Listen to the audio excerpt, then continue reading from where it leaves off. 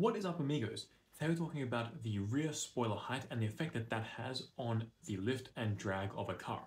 So in terms of a car, if we have the roof and then we have the rear window here, and then we have the boot or the trunk, we have the rear spoiler here.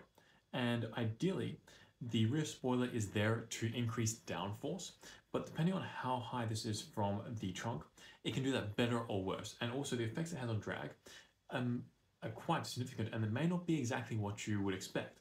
We'll cover that a little bit later as well. So anyway, let's talk about this spoiler, which is effectively just an airfoil profile. And its goal is to produce downforce this way. That increases the stability of the car and the handling qualities, generally speaking, and particularly around the rear of the car.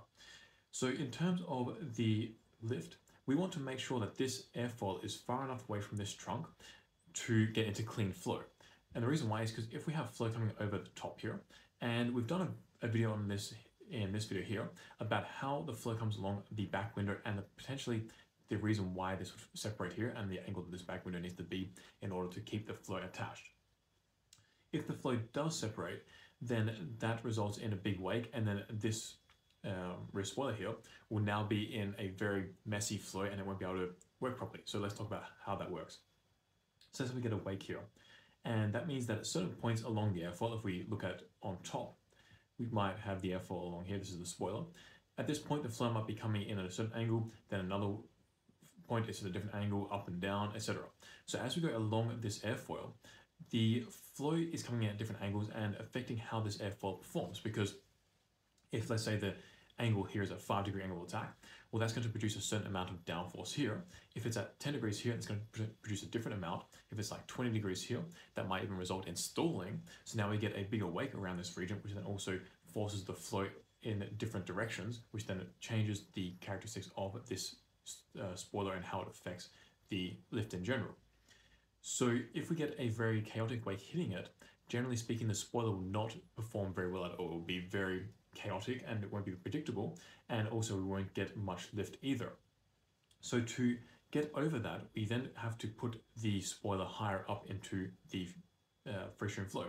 Even if we have the flow completely attached over the rear window and then hitting the spoiler, we want to make sure that it's still a fair away amount, uh, amount um, from the boot to not only get out of the boundary layer effect, but also uh, reduce how much the boot is affecting it, as we'll get into in a, in a second. So if we move this up, we get an increase in performance of the spoiler, which means we get more downforce, but also the drag drops. And that's largely because now the spoiler is no longer acting like a bluff body. Because as we mentioned here, if we have flow coming in at different angles, we'll get certain parts producing a much bigger wake that increases pressure drag and increases the drag of the overall vehicle.